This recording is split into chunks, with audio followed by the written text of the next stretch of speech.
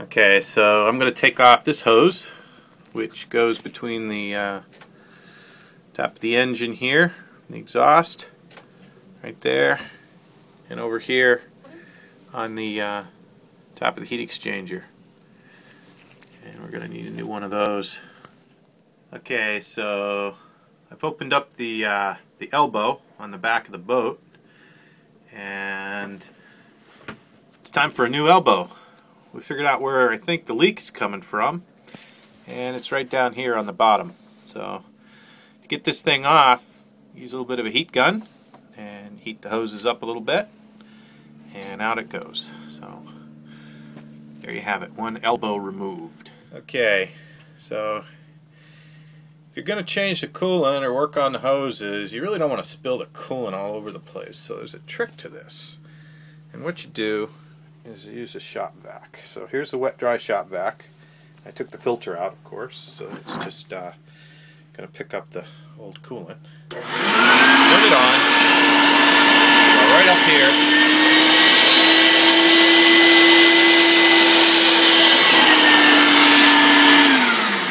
And suck all the coolant out. I'd already taken most of it out, so uh, that's how you do it. Okay, so what we're doing today is taking the heat exchanger out and first thing we had to do is take the exhaust elbow out and so this is the water going in the exhaust elbow right here and we got the exhaust and then the exhaust elbow hooks up to right here on the back of the engine right right there.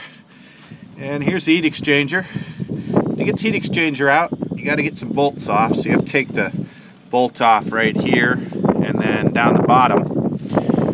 And uh, there's two of them. There's one behind this uh, solenoid, so you got to get down there and get that one, which means you have to unhook the solenoid. And you need a little bit more room for the wires, so you got to release the wires. The wires are tie wrapped here, so I had to undo those. And um,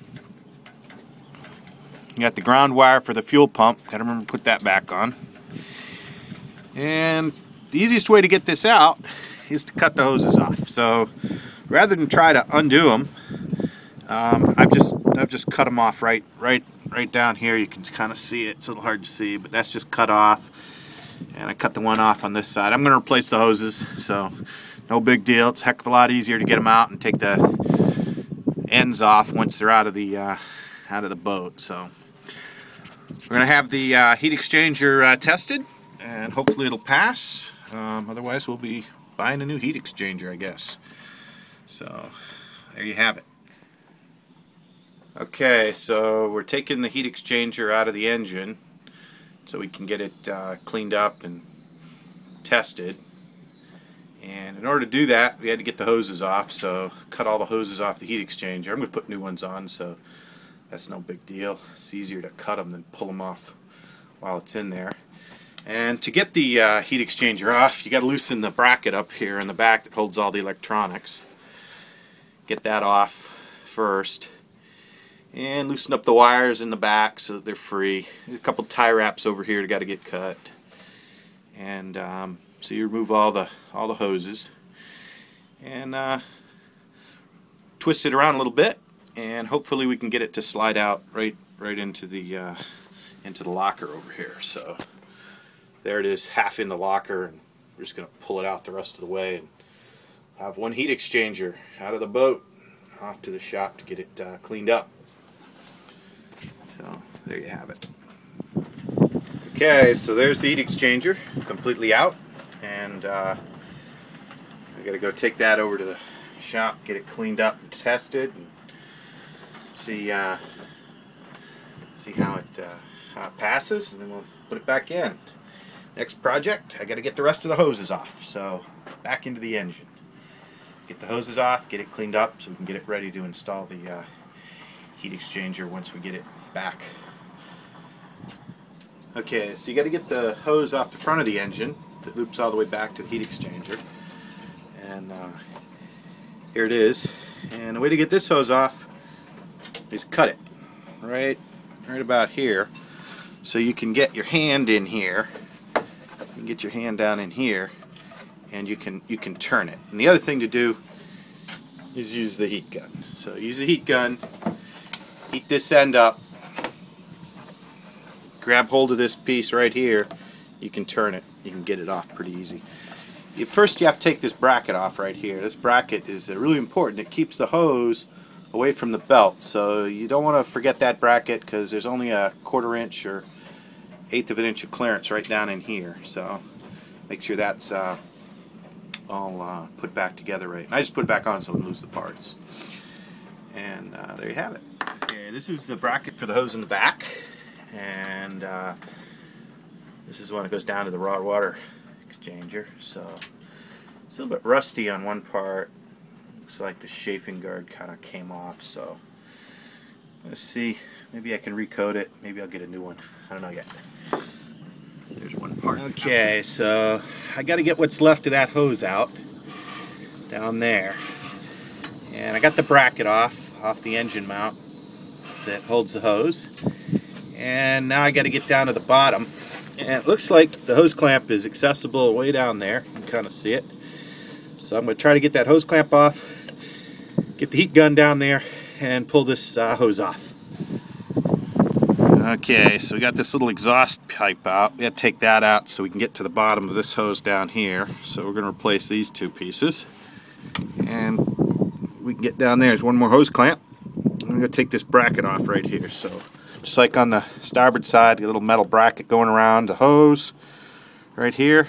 And it's held on here with this bolt. So break this bolt open, get the bracket off, and then we'll get down to that hose clamp at the bottom.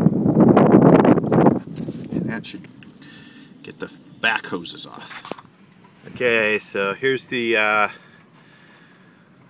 hose from the bottom of the transmission and uh, got it off. And this hose has a coupler right in the middle because it takes this uh, Trident one inch hose connects it up to the special hose from Westerbeke and uh, this allows you to hook it into the to the elbow. So this this the elbow hooks up here. And the reason they have this coupler I guess is because you might have to put in a different elbow configuration so you need adjustable length of hose. So use some of this regular um, water hose stuff for it. So Gonna pull these off with the heat gun and uh, check this fitting and go order some hoses. Okay, so here's the fitting. Connects the uh, output of the transmission coolant cooler uh, section up to the exhaust elbow and we're going to try to get this guy off right here. we got the hose clamps off so we're going to heat gun out and heat that up. See if it'll pop Okay, apart. to get the aft motor mount out, you got to take off the two bolts. You can see one right there. And the other one came off with the uh, clamp for the hose. And then you got to get these guys out down the bottom. Now to get these out of the bottom, you really need to use a crow's foot. It's a 9 16 so you get in there with this thing and uh, this guy right here and you can wind them out pretty easy. So uh, I bought the motor mounts a couple years ago, but I never put them in in the back because uh, getting in there was a little bit of extra work, so didn't think they were that bad. But I got them, and since I got the back all apart, I might as well put the motor mounts in the back. So here you have it. Okay, so there's the aft motor mount, and uh, you got the bolts off the engine, and it's time to get down there with the crow's foot and get that last bolt out of the frame and uh, the motor mount should be ready to be replaced. There you have it. This is a lot easier to do you got the exhaust out of the way and the hoses. So if you're going to change the heat exchanger or the elbow or the hoses, do the motor mounts at the same time if you got them. So there you have it. Okay, so I got the other uh, mount out. I guess the camera should go this way. On starboard, came out pretty easy.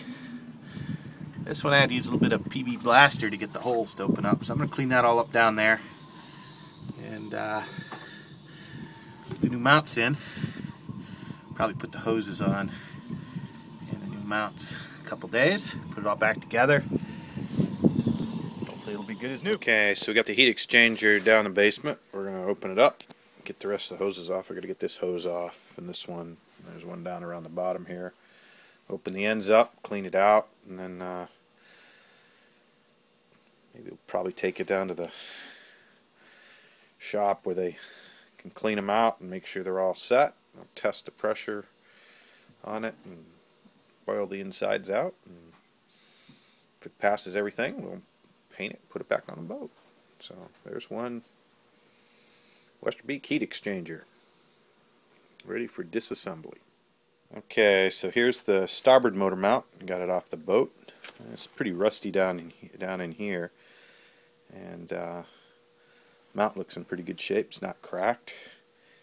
So I'm going to get the support piece off right here and see if we can get this uh, attached to the new mount, which is right here. So here's the new mount, and uh, I just masked it off and sprayed it, but it's identical. There's no difference between these two parts. And uh, put this in.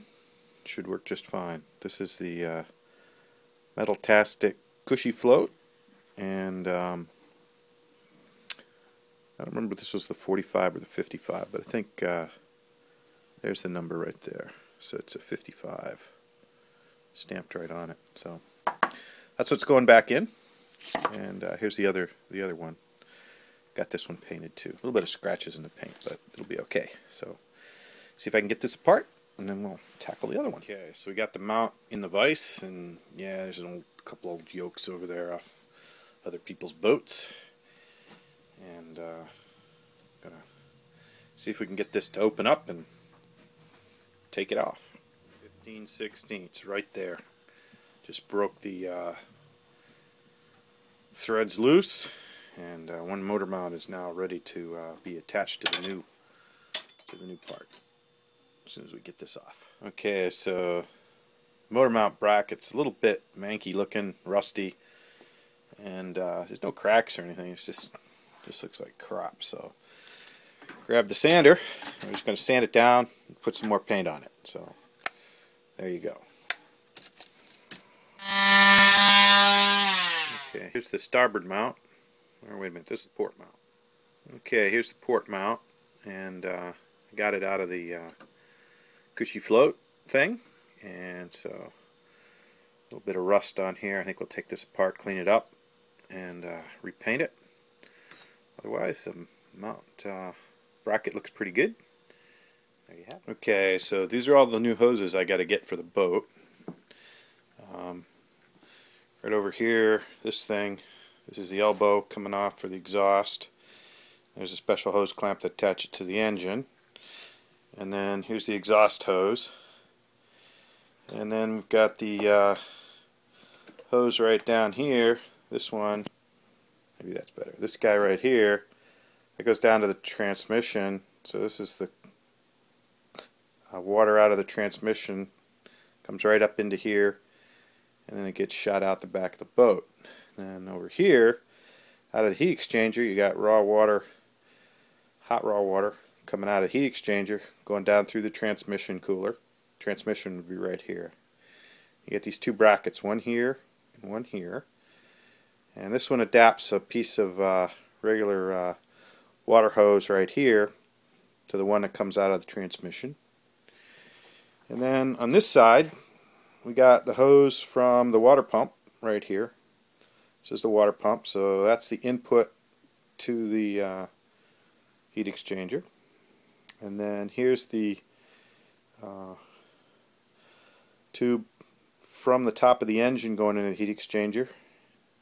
And some Westerbekes use a little fitting in here to take the hot water out, but on ours it comes out up front somewhere. So we just need a piece of this hose. And uh, then we've got this hose here, which runs down on top of the uh, um, alternator, regulator, starter, excuse me, runs on top of the starter motor, and then underneath the alternator and uh, up into the water pump on the engine. This is for the uh, coolant. So this side's got coolant in it. This has got coolant in it. And this is your raw water in, your raw water out, down through the transmission, and it comes back up here into the elbow and then back out down that exhaust tube which got kicked out of position. So the exhaust tube goes here and then down into the exhaust uh, muffler thing. So that's the uh, setup. I got to go buy some hoses and uh, I got to get another one of these too. This thing here is broke. Flange is shot on it so we're getting a new elbow. Got that on order. And we're going to take the heat exchanger into the shop and have them check it. So they're going to pressure test the heat exchanger. They're going to look at the uh, all the inside of it and everything. It's pretty clean. It, it works, but it's got a little bit of corrosion around the edges and just make sure the thing is in good shape. So uh, there you have it.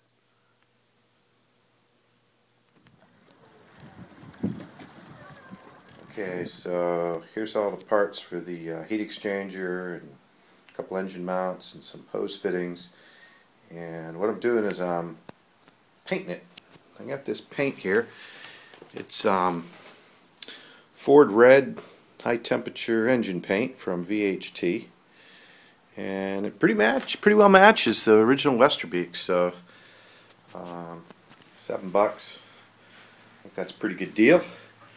And uh, this is the exact uh, color that I'm using. So let's see if I can get that to focus. There we go. SP152 Ford Red. And um, paint this all up and go put it back on the boat. Looks pretty good.